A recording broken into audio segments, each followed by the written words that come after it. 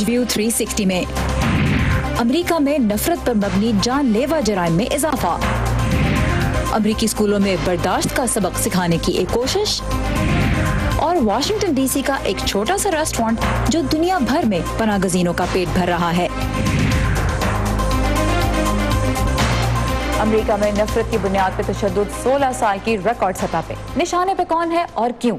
Voice of America के Washington studio में आप सबको खुश आमदेद व्यू 360 के साथ मैं हूँ सारा जमान। अमेरिका के विफाकी तहकीकती इदारे एफ़ पी आई ने साल 2018 के दौरान नफरत की बुनियाद पर किए जाने वाले जराइम के आदाद शुमार जारी किए हैं। इसके मुताबिक 11 सितंबर 2001 के हमलों के बाद आज अमेरिका में नफरत की बुनियाद पर कत्ल की वारदातों और तशद का निशाना बनाने के वाकत रिकॉर्ड सतह पर हैं। इससे पहले कि हम डेटा पे नज़र डालें, पहले ये देखते हैं कि नफरत पर मबनी जुर्म अमरीका में कहते किसे हैं। एफबीआई के मुताबिक किसी शख्स की ज़ात या माल को अगर उसके रंग, नस्ल, मज़हब, सिंफ, माजूरी या फिर सिनफी और जिनसी शनाख्त के बायस नफरत की बुनियाद पर कोई नुकसान पहुँचाए तो ये हेट क्राइम कहलाता है। 2018 में अमेरिका में नफरत की बुनियाद पर कितने जराइम रिपोर्ट हुए और निशाना कौन बने? इसकी तफसीत लेकर आई हैं इरम अब्बासी, जो इस वक्त स्टूडियो में हमारे साथ हैं। इरम, क्या तफसीत हैं इस रिपोर्ट की? जी सारा एफ़ बी आई की ताज़ा तरीन रिपोर्ट के मुताबिक सन 2018 में नफरत के नाम पर कत्ल के वाक़ात 16 सालों की बुलंद तरीन सतह पर रोनमा हुए। 2018 9/11 के बाद से अब तक नफरत पर मबनी पुतशद वाक़ात के अतबार से अमरीका में सबसे तबाहकुन साल रहा। और गुज्त साल नफरत के सबब कम अज़ कम 24 अफराद का कत्ल हुआ, जबकि 2017 में कत्ल की ऐसी वारदातों की तादाद 15 थी। 2018 में नफरत के नाम पर तकरीबन चार हज़ार पुतशद हमले हुए। अमेरिका के तकरीबन सोलह हज़ार लॉ इन्वेस्टिगेटिव इदारे एफ़ बी आई की सालाना क्राइम रिपोर्ट में रजाकराना तौर पर हिस्सा लेते हैं, लेकिन सिर्फ़ दो हज़ार के लगभग इदारों ने अपने हेट क्राइम रिपोर्ट्स जारी की। बाकियों ने कहा कि उनके इलाके में ऐसा कोई जुर्म रिपोर्ट नहीं हुआ। दिलचस्प बात यह है कि सन 2017 के मुकाबले में नफरत पर मबनी जराइम की तादाद में गुजशत साल मामूली कमी हुई। पिछले साल ऐसे वाक़ात की कुल तादाद सात हज़ार एक सौ बीस थी, जो 2017 के मुकाबले में थोड़ी कम है, जब ऐसे सात हज़ार एक सौ पचहत्तर वाक़ात रिकॉर्ड हुए। एफ़ बी आई की रिपोर्ट के मुताबिक नफरत के बायस जराइम का सबसे ज़्यादा शिकार लातीनी अफराद हुए। मुसलमानों के खिलाफ नफरत पर मबनी एक सौ अट्ठासी जराइम रिकॉर्ड किए गए, जो पिछले साल के मुकाबले में कुछ कम रहे। सिखों के खिलाफ नफरत पर मबनी जराइम में तीन गुना इजाफा हुआ और ये बीस से बढ़कर साठ हो गए, जबकि अरब नस्ल के अफराद के खिलाफ बयासी जराइम रिकॉर्ड किए गए। ठीक है सो ये तो हमने देखा कि निशाने पे सबसे ज़्यादा कौन लोग थे। निशाना बनाने वाले कौन थे? इन जराइम के पीछे ज़्यादातर किसका हाथ था? जी, सारा जो डाटा कलेक्ट किया है इंटेलिजेंस एजेंसी से, उनके मुताबिक 50 फ़ीसद से ज़्यादा जिन लोगों ने ये जराइम किए, उनमें अमरीकी सफ़ेद फार्म अमरीकी थे। फिर जो दूसरा उन्होंने स्टैट्स हमें बताया वो ये है कि 20 फ़ीसद से ज़्यादा ब्लैक या अफ्रीकन अमरीकी जो थे उन्होंने ये जराइम किए उन लोगों के ख़िलाफ़ जो कि हमने पहले बताए बाकी जो 12 फ़ीसद से ज़्यादा लोग हैं उनकी नस्ल के बारे में नहीं पता। सो ये वो लोग हैं जिन्होंने नफरत की बुनियाद पर यह जराइम किए। सबसे ज़्यादा सफ़ेद फार्म अमरीकियों का हाथ है। अमरीका में वाइट सुप्रमेसी यानी सफ़ेद फार्म नस्ल परस्ती का जो मसला है वो भी हम देख रहे हैं। पिछले कुछ सालों में बढ़ा है। लेकिन जो दिलचस्प बात है और भी आपकी रिपोर्ट से ज़ाहिर होती है कि सोलह हज़ार इदारे, जो सोलह हज़ार इन्वेस्ट जो है लॉ इन्फोर्समेंट इदारे, वो रजाकाराना तौर पर हिस्सा लेते हैं। लेकिन इस तरह के क्राइम सिर्फ़ दो हज़ार ने रिपोर्ट की, और इसीलिए माहरीन जे भी कहते हैं कि दर हकीकत अमरीका में हेट क्राइम्स अपनी असल तादाद से कहीं कम रिपोर्ट हो रहे हैं। इरम अब्बासी हमारे साथ ही स्टूडियो में। Thank you very much Iram for the details जब किसी कम्युनिटी में नफरत की बुनियाद पर लोगों को निशाना बनाया जाता है तो पहला रद्दमल होता है खौफ और गम गुस्सा, जो कि कुदरती है। लेकिन फिर इसके बाद क्या किया जा सकता है? हमारी अगली रिपोर्ट में आज सबाशाह खान बता रही हैं कि जब अमरीकी रियासत रोड आइलैंड के एक छोटे से शहर में मुसलमानों और यहूदियों को नफरत आमेज पैगाम का निशाना बनाया गया तो फिर कम्युनिटी ने उसके खिलाफ अमली तौर पर भी कुछ इकदाम उठाने का फैसला किया।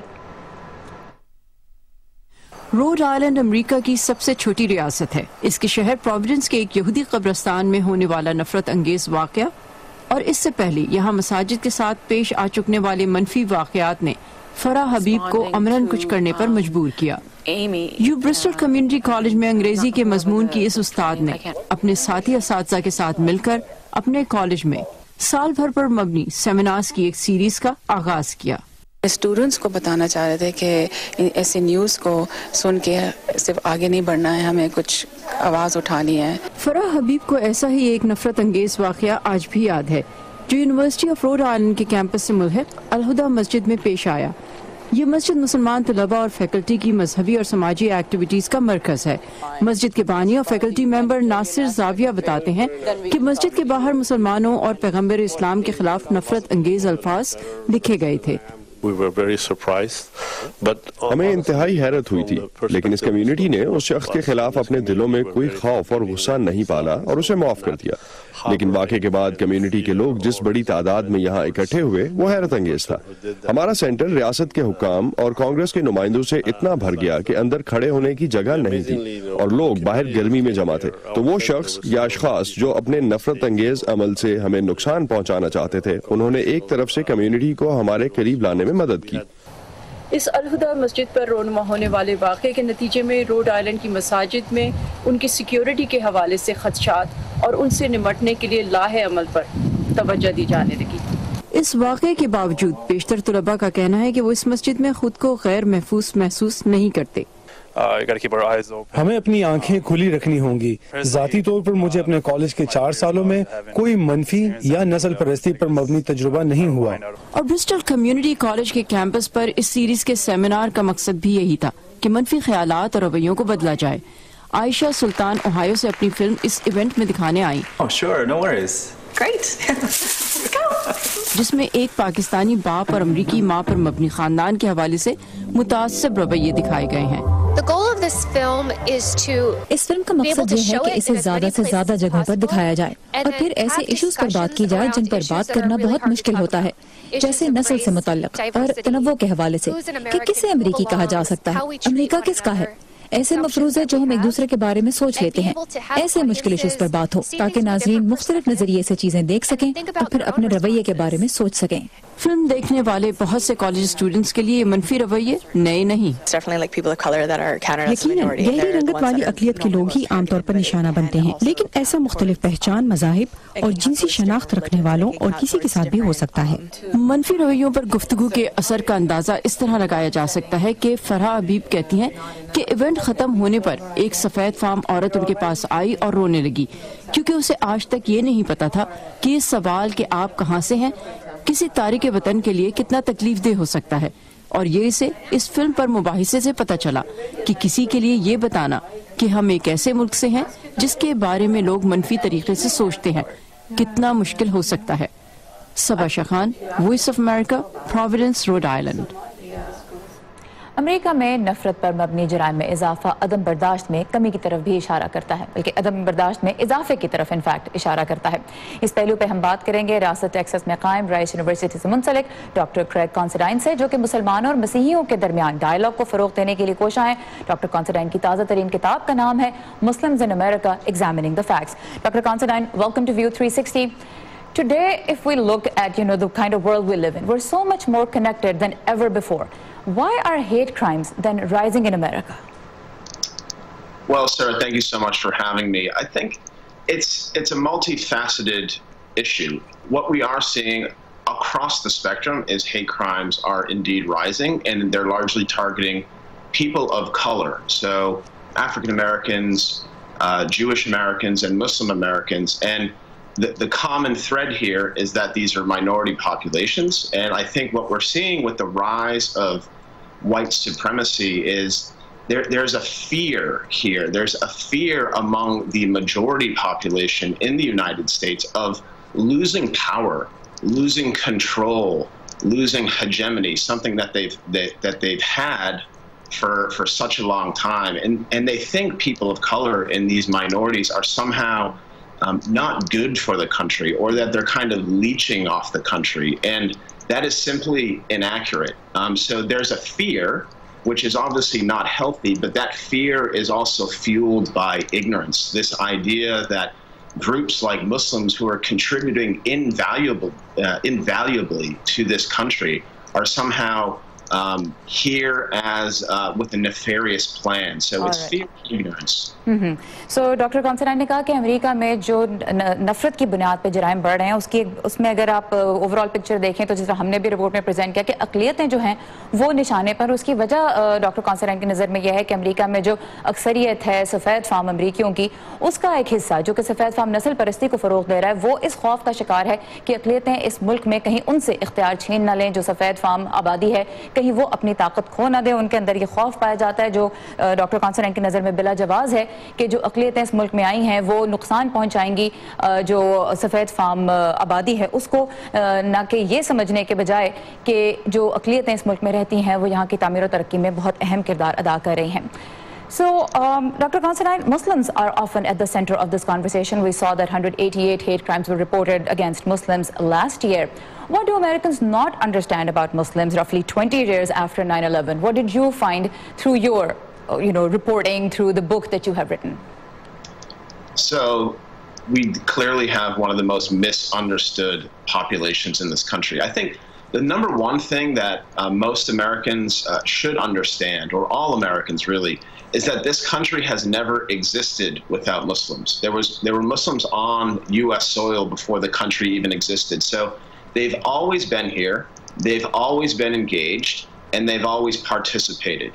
Um, through even things like war. There has been very few wars in the in the history of this country that has not included a Muslim. Of course, we shouldn't judge uh, the value of a citizen or a population on whether they're willing to give their life, but that's a major uh, contribution if you're willing to give your life. But today, Muslim Americans are highly educated. Uh, they're civically engaged. They are active in the interfaith dialogue scene. There are doctors, there are lawyers, there are professors, there are school teachers, there are athletes, and there they are our, our activists and our actors. So Muslims are contributing across the spectrum. Unfortunately, we don't hear about these stories in the mainstream media. We tend to only hear about Muslims through the prism of things like violence or terrorism or this kind of boogeyman of uh, the Sharia. All right. So doctor Considine कहते हैं कि America में जो लोगों को समझना ज़रूरी है, अमरीकियों के लिए, वो ये है कि इस मुल्क में मुसलमान हमेशा से रहते रहे हैं। माशरे का एक फ़ाल हिस्सा रहे हैं और आज पहले से कहीं ज़्यादा पढ़े लिखे हैं और हर जो प्रोफेशन है, उसमें वो कॉन्ट्रीब्यूट कर रहे हैं। लेकिन बदकस्मती से आम अमरीकियों तक ये बात नहीं पहुँचती, क्योंकि वो ज़्यादातर मीडिया की नज़र से देखते हैं और मीडिया ख़बरों के ज़रिए और ख़ासतौर पर तशद के वाक़ात की ख़बरों के ज़रिए ही मुसलमानों के बारे में ज़्यादातर बात करता है और इसलिए लोगों के अंदर एक नेगेटिव परसेप्शन है। है मुसलमानों के बारे में so last but not the least you have been working to promote tolerance for years and I follow your Instagram and the feed is full of praise for the Prophet of Islam and many people come and support you and praise you for that but there are others who also question your faith. So what exactly is tolerance and how do you have a meaningful dialogue, a meaningful conversation? So I think at its heart, uh, tolerance is living with difference and that's really important, especially in the United States. We live in one of the most racially, culturally, ethnically, and religiously diverse. So it's living with difference, and we have to understand what our differences are. Uh, which is which is important. We this is a country in which freedom of religion, freedom of speech, and freedom of conscience are cherished and protected by the Constitution. But Sarah, I also want to alert your viewers um, there's something else going on here, and I'm part of this movement which is pushing people beyond tolerance. Because when we think of tolerance, when you tolerate a child, you're usually um, having to deal with or accepting, even though uh, begrudgingly, a bad habit. So you tolerate something, but pluralism is when we energetically engage with that difference. So we can move beyond the difference and start seeing each other in a common light we can start seeing the similarities across our religious tradition. And that brings us closer to our common humanity when we can move beyond this kind of division of Christian, Jewish, Muslim, Buddhist, Hindu, and see each other 1st mm -hmm. as human. It's critical. और right से doctor Craig Considine कहते हैं कि बर्दाश्त का मतलब यह है कि इख्तलाफ के साथ जिया जाए, लेकिन बर्दाश्त सिर्फ़, वो तो हर तरह के रवैयों को बर्दाश्त किया जा सकता है, लेकिन वो कहते हैं कि ज़्यादा ज़रूरी यह है कि प्लूरलिज्म, यानी कि इख्तलाफात जो हैं, उनको एक्सेप्ट किया जाए, उनका एहतराम किया जाए, और फिर उनमें यह देखा जाए कि लोगों के दरमियान मुश्तर क्या है, वो किस बात पर मुतफ़ हैं, और उसमें सबसे जो अहम पहलू सामने आएगा वो ये है कि इंसानियत सब में मुश्तरक है और उसकी बुनियाद पर फिर गुफ्तु को आगे लेके बढ़ा जा सकता है doctor Craig Considine with Rice University we really appreciate your time and the insight you gave us My pleasure. Thank you so much. जिस तरह हमने बात की, बर्दाश्त नाम है एहतराम का। अपने से मुख्तलिफ़ को कबूल करने का और यह समझने का कि तनवो तो एक हकीकत है, उसके साथ ही जीना होगा। यह सोच नई नहीं है। अकवा मुतहदा उन्नीस सौ छियानवे से हर साल सोलह नवंबर को आलमी योम बर्दाश्त मना रहा है, ताकि आम लोगों, हुकूमतों और इदारों को भी ऐसे तरीकों के बारे में सोचने का मौका दिया जाए, जिनसे मुतनवो माशरों में हम आहंगी पैदा की जा सकती है। अमेरिका में इस पैगाम को क्लासरूम तक ले जा रहा है एक जरीदा, जिसका नाम ही है टीचिंग टॉलरेंस इसके ज़रिए बच्चों को बर्दाश्त का सबक कैसे पढ़ाया जा रहा है आज बता रही हैं शनाज नफीस।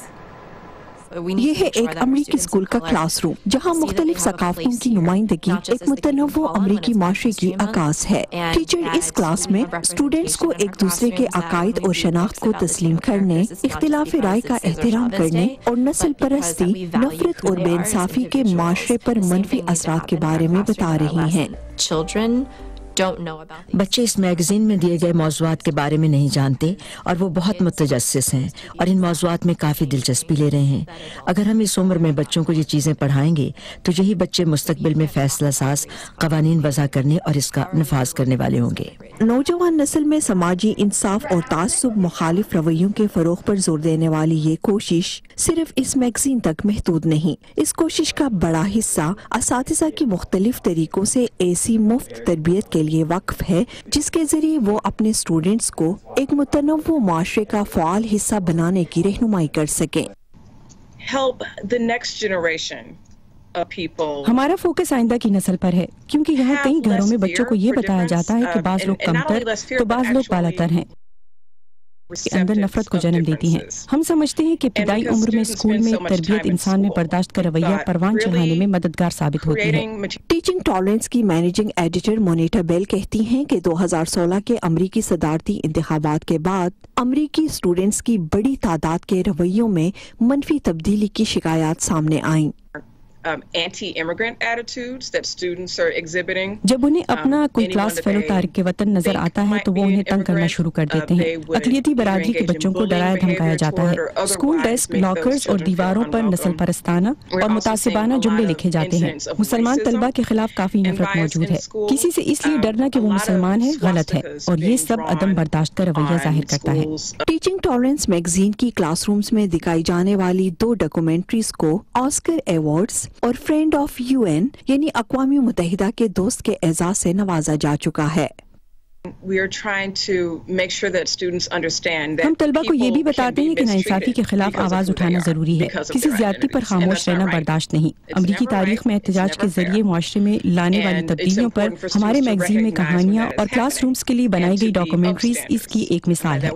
चैरिटी पर चलने वाला टीचिंग टॉलरेंस मैगजीन उन्नीस सौ इक्यानवे में उस वक्त कायम हुआ था जब अमरीका में नफरत पर मबनी जराइम आम थे। टीचिंग टॉलरेंस मैगजीन के लिए लिखने वाले आम अमरीकी शहरी हैं जिनकी तहरीरें बाहमी रवादारी बर्दाश्त और एहतराम से मुतलिक शूर पैदा करने की अक्स होती हैं। Shahnaz Nafees Voice of America Washington America में नफरत पर मबनी जराइम की सूरत हाल और फिर बर्दाश्त का सबक देने के बारे में हमने आज बात की। ये मसला पाकिस्तान में भी एक हकीकत है और वहाँ भी ऐसे लोगों की कमी नहीं जो प्यार, मोहब्बत का पैगाम फैलाने की कोशिश करते हैं। इस बारे में तफसील से हम बात करेंगे कल शाम व्यू थ्री सिक्सटी में।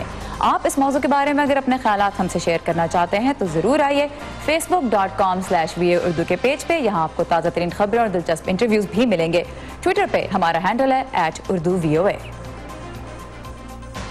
चले। इधर आ जाए इधर थोड़ा सा इधर। थोड़ा इधर थोड़ा इधर हो जाए। हम सब अपने आप में कहाँ परफेक्ट हैं? ये जो हमारे आसपास के लोग हैं ना।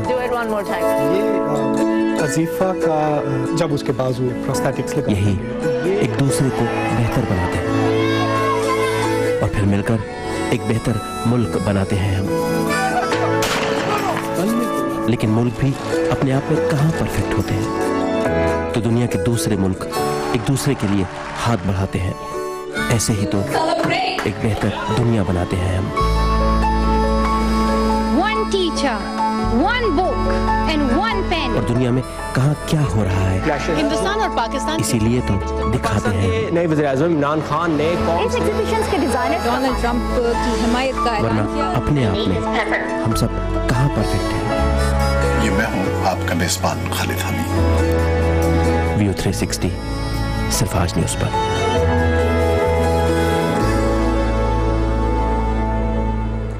वाशिंगटन डीसी में एक ऐसा रेस्टोरेंट है जहाँ सिर्फ़ तीन डॉलर में खाना मिलता है और उससे सिर्फ़ खरीदने वाले का ही पेट नहीं भरता बल्कि ये हज़ारों मील दूर रहने वाले पनागजीन की भूख भी मिटाता है।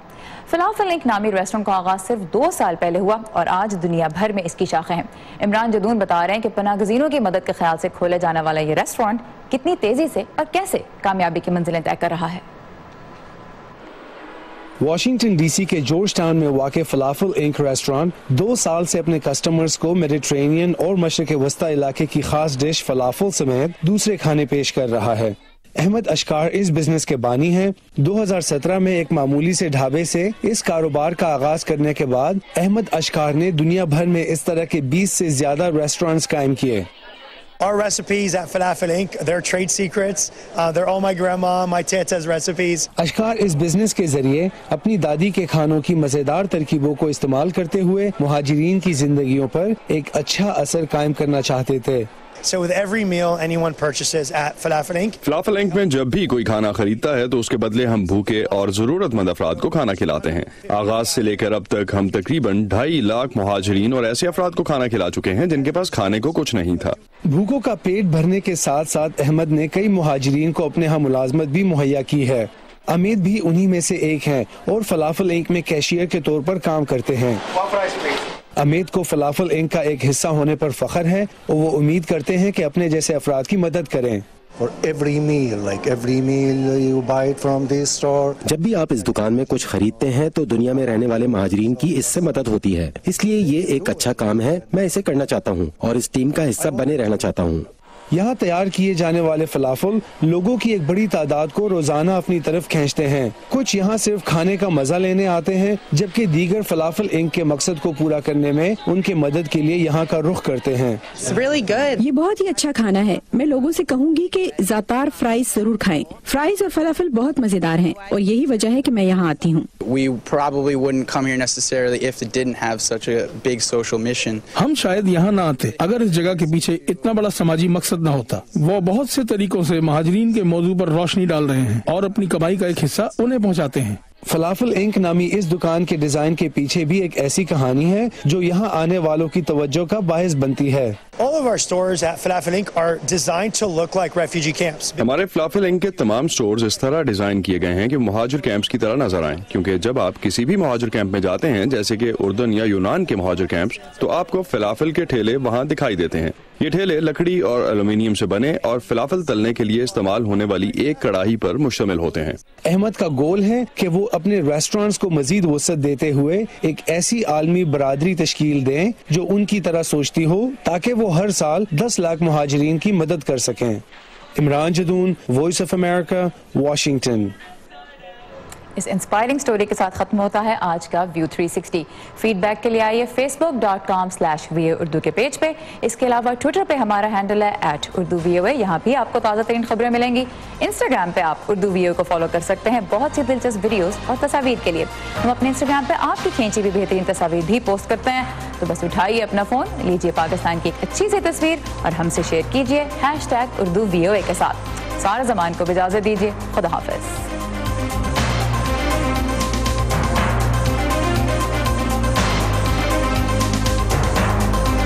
ताज़ा तरीन खबरें, अहम वाकयात ऑडियो वीडियो रिपोर्ट और तजिए। देखने, सुनने और पढ़ने के लिए डाउनलोड कीजिए बी ओ ए उर्दू की नई ऐप खबरें अब हर वक्त आपकी मुट्ठी में।